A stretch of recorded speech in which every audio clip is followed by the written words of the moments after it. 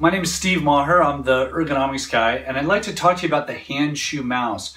It's a different style of mouse, and it might fit your hand better, which could make mousing a lot more comfortable.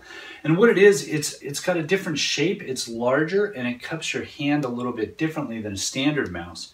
Um, so what they've done is they've made the base much bigger and rounder, and then they've changed the angles on it so when you hold it, it holds your hand in a more neutral posture.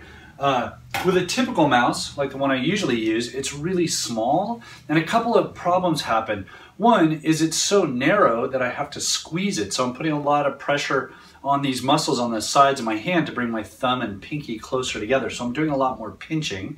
Um, and then it doesn't fit the curves of my hand. And so I'm, I'm squeezing a lot more. So I'm using a lot more effort with the muscles of my forearm to just hold the mouse and then move it. Uh, with the hand shoe, what they've done is they've molded the plastic so it holds me in a more neutral position, a more functional position of the hand. So my hand isn't straight up because that's it, that makes it hard to grip the mouse too and puts a lot of pressure on the small bone on the corner of my hand. Uh, but it's not flat where I'm putting a lot of pressure into the carpal tunnel and extending my wrist. So they've given it a little bit of an angle so that my wrist is in a more neutral position like this. So if I turn towards you, uh, it's not all the way straight up and anatomically neutral, but it's not flat and extended either. It's kind of in between. They come in different sizes, so they're they're uh, larger for larger hands and smaller for smaller hands. And what's nice about it is it fits all around your hand. So your entire hand is supported. And when you're moving, you're moving like this. So I'm not planting uh, on that pisiform, that small bone on the corner of my hand, and pivoting, I'm moving my entire hand.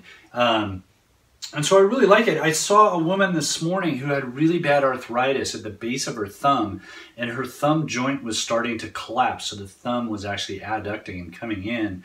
And it was very difficult for her to grip a standard mouse because it was so narrow and it put so much pressure. And, you know, just looking at this and thinking about her, I think a mouse like this would really help her because she doesn't have to squeeze it at all to, to move it to, to get a good grip on it and then she can move from her shoulder rather than isolating the small muscles of her hand. Uh, these come in wired and I think wireless as well. They come in different sizes to fit different hands. Um, and so it, it could be a really good addition to your ergonomic uh, tool toolkit there. Um, if you have any questions about if this would be a good mouse for you or what good functional ergonomics are, please give me a call or uh, contact me at theergonomicsguy at gmail.com. And you can set up an individual assessment where we can look at your workstation online and discuss what you're doing. Uh, or you can sign up for one of our webinars. We did one this morning. It's about half an hour long. We have one for the office, so if you're working in a cubicle situation, we can show you how to set up your cubicle. If you're working in a home office situation, we can show you how to set that up as well. And that one's kind of fun because we go through all the different permutations of, of how to set up a home office without destroying your, your furniture.